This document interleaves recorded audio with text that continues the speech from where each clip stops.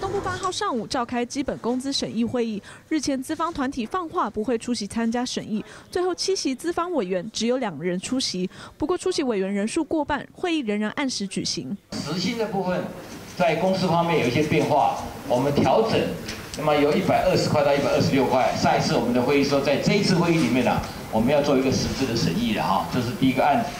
那么第二个案子就是现行的基本工资有没有需要？来做一些调整啊，那么也要尊重各位的意见，所以这是第二个讨论案。经过五个多小时闭门会议，第一案将基本时薪由一百二十元调为一百二十六元，劳资双方很快取得共识。但是对于现行基本工资是否需要再调整，双方出现不少分歧。现行的基本工资要不要调整啊？呃，劳方资方都有各种不同的意见哈。呃，它差距还蛮大的，还蛮大的。所以我们经过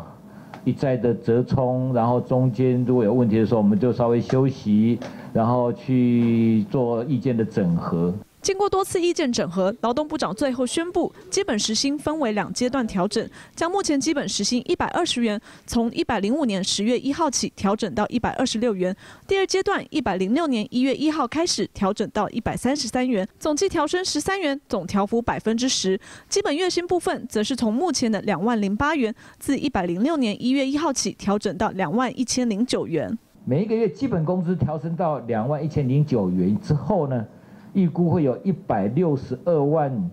多的劳工，因为这样来受益哈。那么如果时薪从一百二十调整到一百三十三之后呢，预估有三十九万渔民劳工呢来受惠。劳动部长表示，调整基本月薪让一百六十二万名劳工受惠，调整基本时薪让三十九万名劳工受惠。未来持续保障劳工权益，年底前将研拟最低工资法草案，让工资问题进入立法院审查，寻求劳资双赢局面。记者朱古嘎丽丽大陆台北市采访报道。